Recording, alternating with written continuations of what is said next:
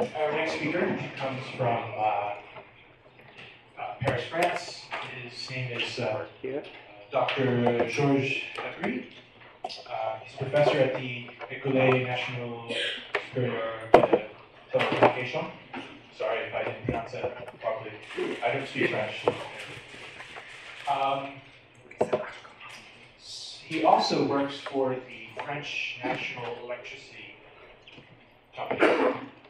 And he's going to talk to us today about a pretty hard problem to deal with very long time series where you have very wide gaps. And how do you do interpolation? And when you do this interpolation, estimate the error.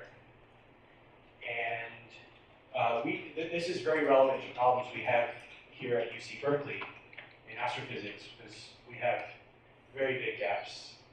And we also have measurement error in our observations. So the, many of us here are interested to see um, this applied to a different problem for photo, uh, uh, photoelectric cells, for solar cells. Uh, he's going to talk to us about how to predict um, power generation given variations in uh, sun and cloud cover uh, and uh, a sensor network so that you can sort of share power. Um, a pretty cool project. So I'll uh, give the floor to him. Thank you. Thank you. Can you hear me? Is it okay?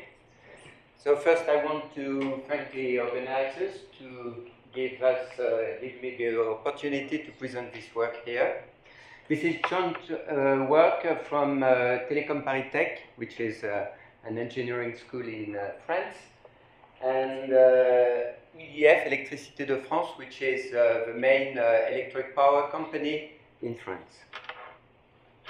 So the motivation of this work is that, as uh, mentioned uh, Joao, uh, there is a, a, trend to introduce more renewable energy uh, in the power network, mainly um, uh, solar panels, PV, photovoltaic PV systems, and wind farms.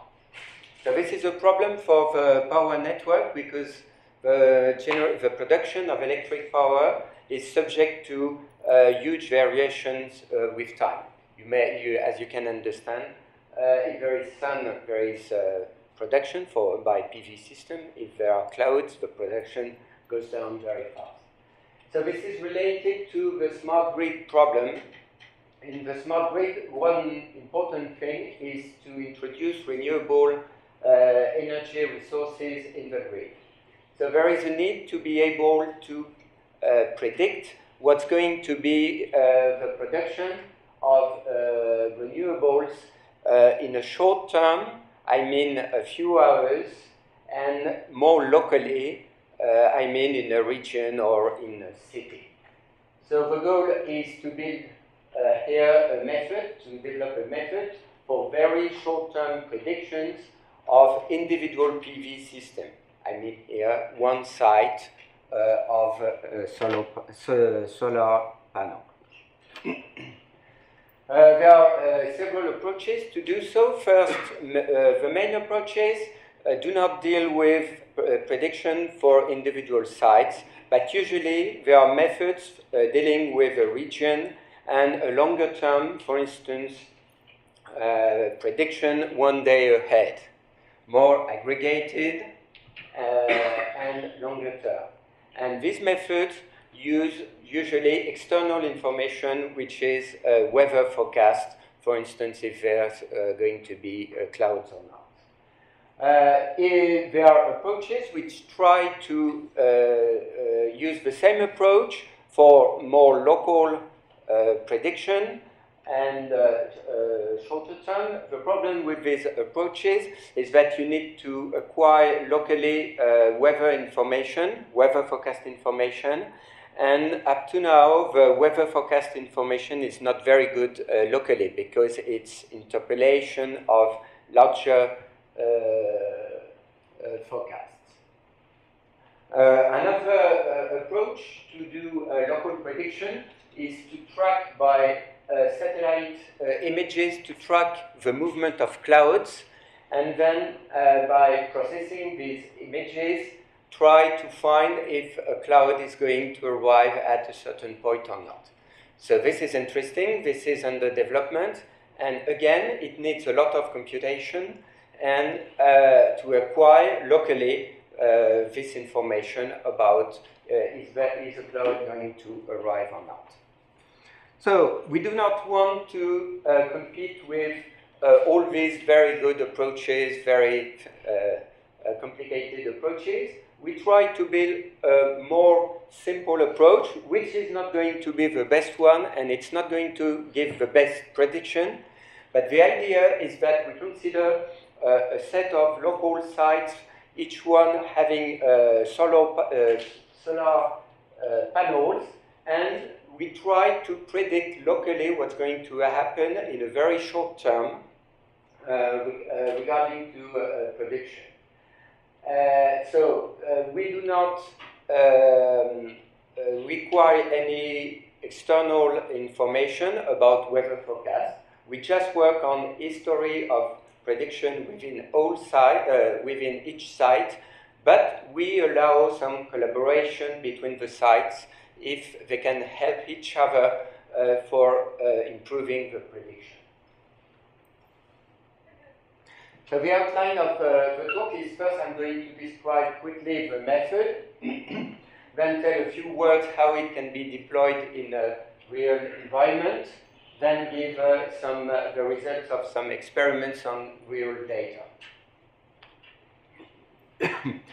so the method is based on what we call uh, local analog search, which is a kind of k nearest neighbor method.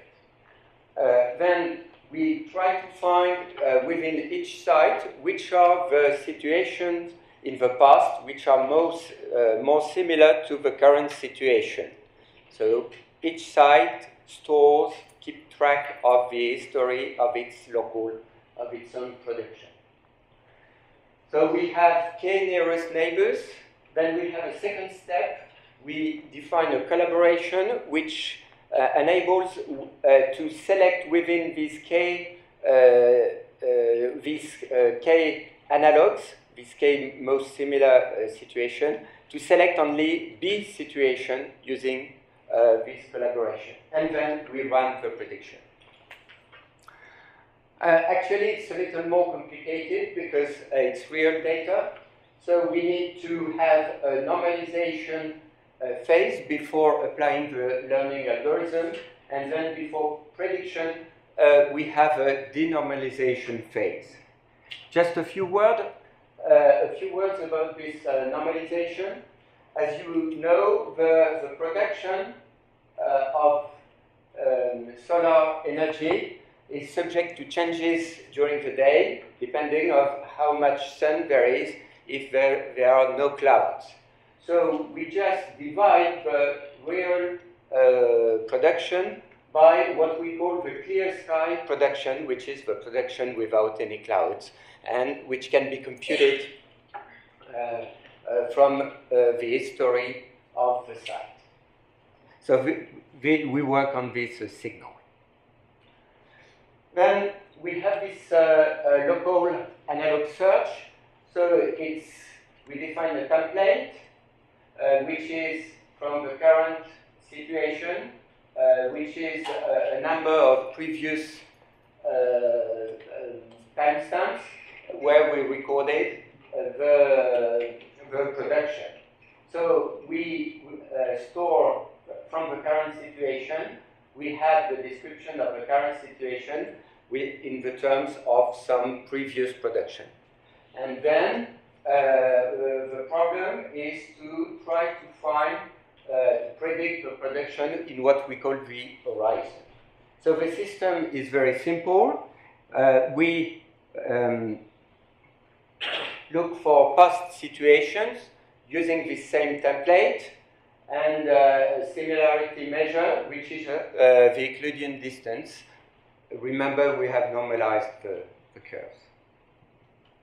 So we find uh, in, the, in the history several situations. Actually, uh, we, we uh, select k analog situations. We, uh, we can associate uh, weight to each situation depending on the similarity Uh, to the current situation. So what's important now is that we, we have selected some timestamps in the, in the past with some weights associated with each timestamp. So we do this within each site. Now we have this collaboration process. So the idea is that each local site does the same job, look for the analogs in the past, determine the, uh, determine the different timestamps, and the weight of each situation for each selected timestamp. Now they are going to collaborate. So the collaboration is very simple. The different sites do not send any information about the uh, production, but only the timestamps of the most similar, of the k most similar situations, and the weights of the situations associated with each timestamp. They only exchange timestamps and weights of timestamps. So this collaboration can capture uh, not everything, we'll see at the end, but what we call a current global climatic situation.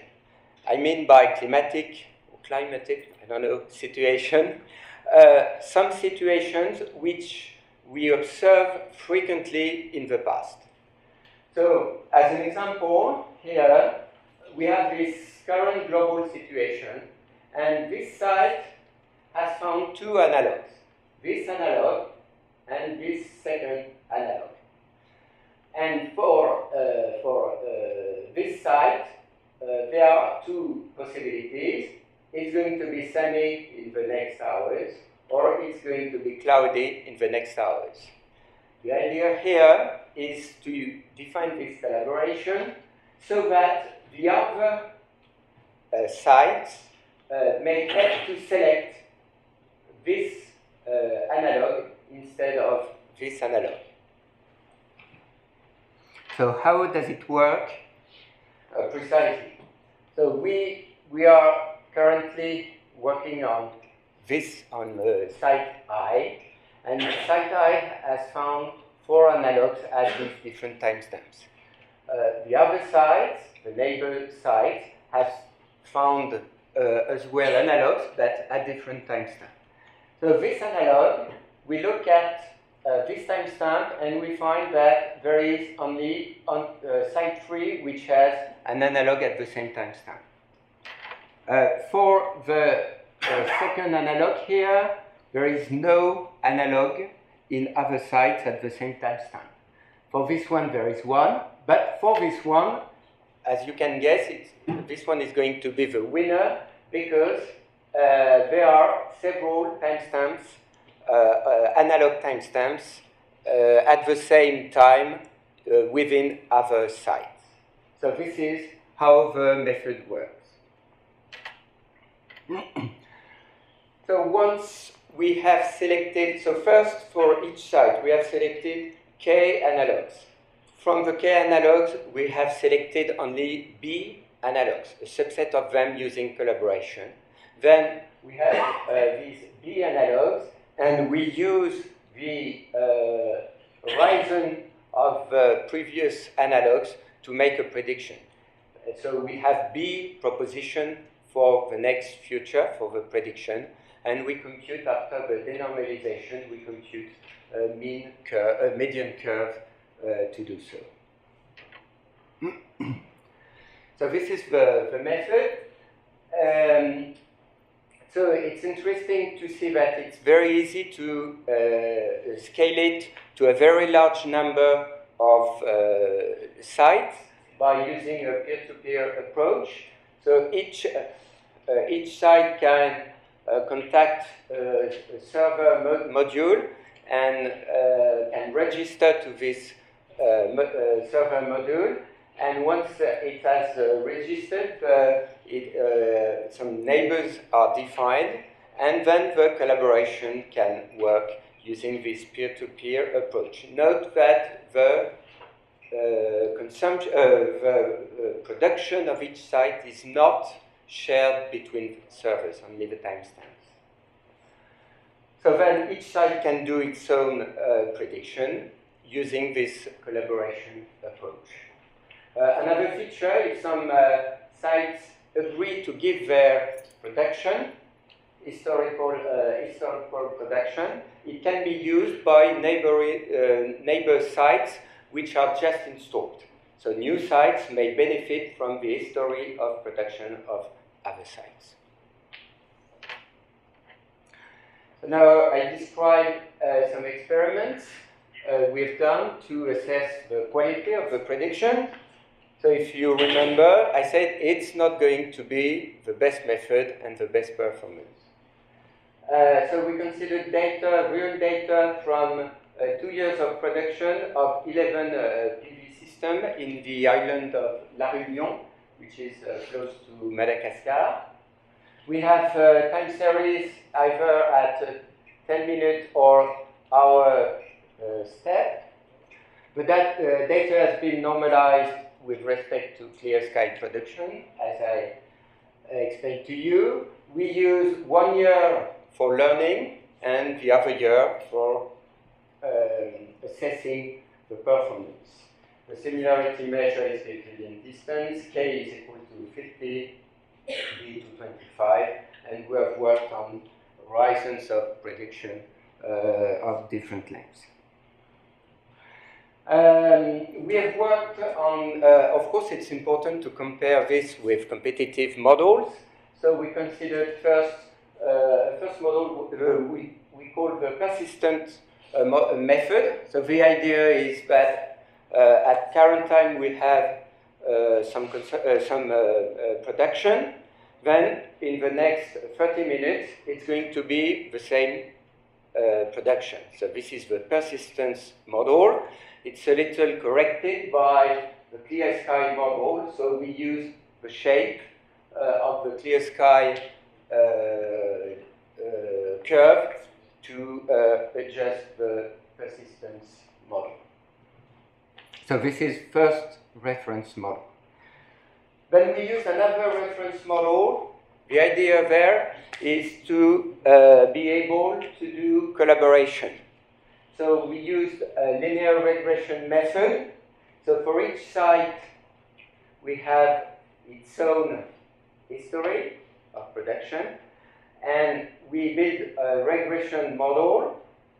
Uh, so it's an auto-regressive model, predict the next value from the W previous values.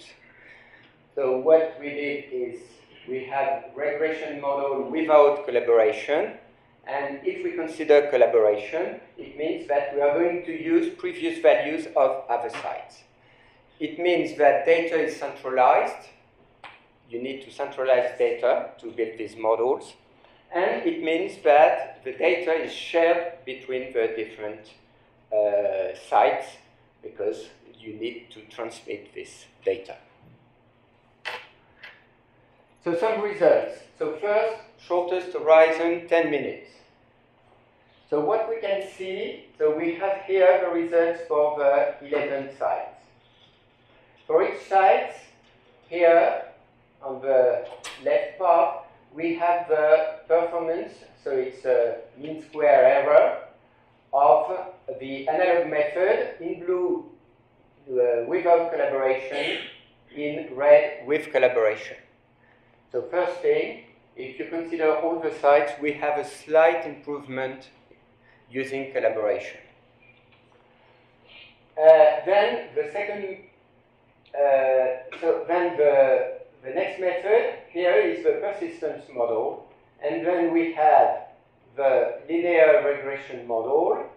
Uh, here it's without collaboration, and here it's with collaboration. So the results are regression models are better than the analog method. Um, for regression model and for analog method, collaboration helps a little, slightly. Then the reference uh, model of persistence, which is completely uh, trivial, uh, is between them. So this is for the 10 minutes. for 30 minutes, uh, we see the trend that the persistence model is going to be worse, degrades. Uh, but still we have the same results for uh, the linear model is better than the analog model for all sides, and collaboration helps a little. For two hours, uh, the persistence model is really bad. uh, and here we have the, only the analog uh, model, which uh, the linear model is still uh, better, uh, but there is a slight or no improvement with collaboration. So, it's good news, and bad news, and good news. Uh, I think that if uh, the, the, fact that collaboration does not degrade the result, first, it's good news. It's a slight improvement. Then uh, we have only here 11 PV system, only 11 sites. So we are working on a larger number of sites, uh, 250 uh, sites. We just had uh, some data about this. And uh, we hope that uh, it's going to help, collaboration is going to help more uh, when we have more sites. So, as a conclusion, um, we have proposed a collaborative analog method for uh, predicting uh, PV generation locally at each site. Uh, it does not generate the best possible prediction, but it does a good job in a simple way. It uses only PV production data, no external information on weather forecast. It keeps local, uh, locally private the, product, the production values between sites, even if there is a collaboration. The collaboration, there is the exchanges, the communications between sites are very, very small, only these timestamps. And uh, another feature is it can be uh, uh, applied to other sensor network problems, for instance, for temperature or for wind, and even we, we can have heterogeneous uh, sensors. Since we only exchange uh, timestamps, we can have we can exchange timestamps of previous situations about uh, temperature on between sensors of temperature, of rain, or anything.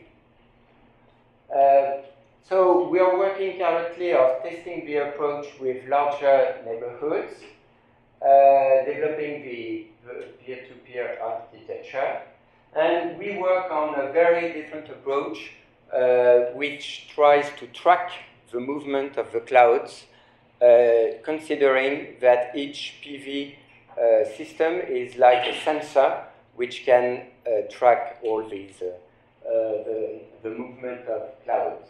So it's a different approach because the approach I've described just um, consider global climatic situation which uh, repeat, uh, which are frequent in the past. And this new approach is dynamic and track clouds in real time. So it's a very different approach. So thank you very much.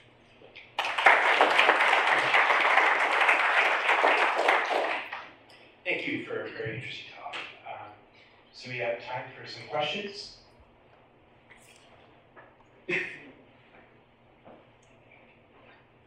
a very nice idea. I think it's, it's a great idea of changing timestamps. I was wondering, how do you select the top uh, ones in the past for each site? Do you consider just windows of 10 minutes, for example, as you were saying, or do you consider let me pick the entire best today in the past or the entire best two hours. What is the, the way of selecting those those local best in the past? Uh, we use uh, so we have this template.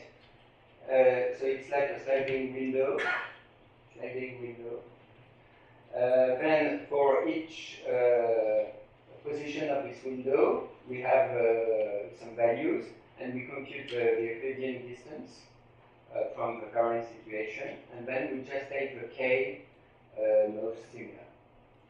Does it answer? For a period of 10 minutes, for example, For um, whatever period.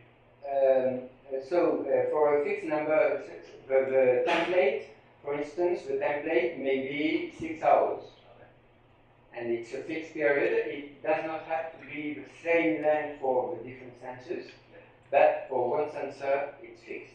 So we have tried several uh, values. Uh, depends. So it depends if it's 10 minutes data or hourly data, and uh, six hours is something uh, which was which gave the best results. Thank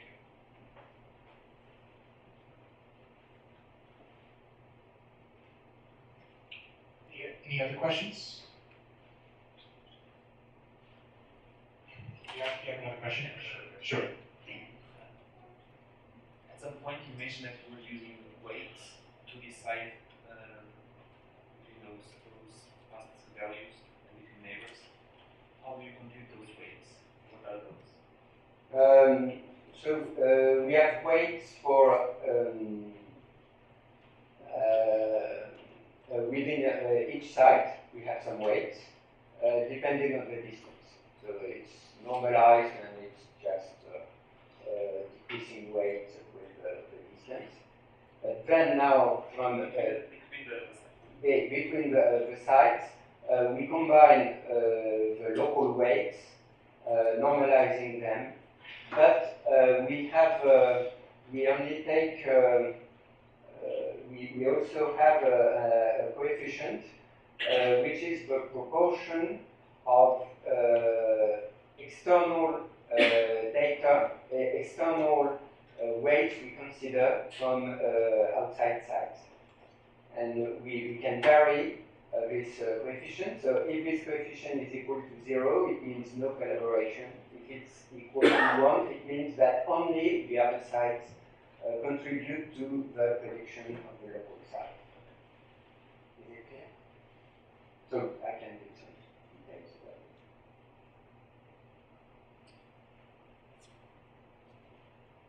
Yes, a question in the back. Uh, no, I was uh, curious if there are any seasonalities in the patterns of your data or not. I mean, it looks like you don't consider that. Uh, yes and no. Uh, since it's uh, uh, not very far from the equator, so the, the, the days are almost of equal length. Uh, there is some uh, seasonality, uh, but the, the seasonality um, um, the, the consequence of this seasonality is that we, we need a minimum of one year for learning the, uh, for, uh, of history, for finding the, the neighbors, uh, the most, the, the analogs, for finding the analogs. Then there was another question, uh, which was, uh, since uh, the, all the days are not of the same length, so how do we uh, manage with this? So we decided to select only the times where there is production uh, all the year.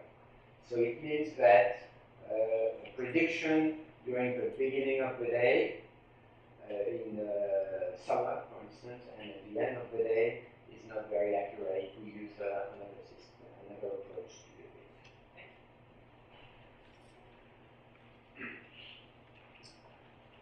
Uh, well, uh, let's thank the speaker.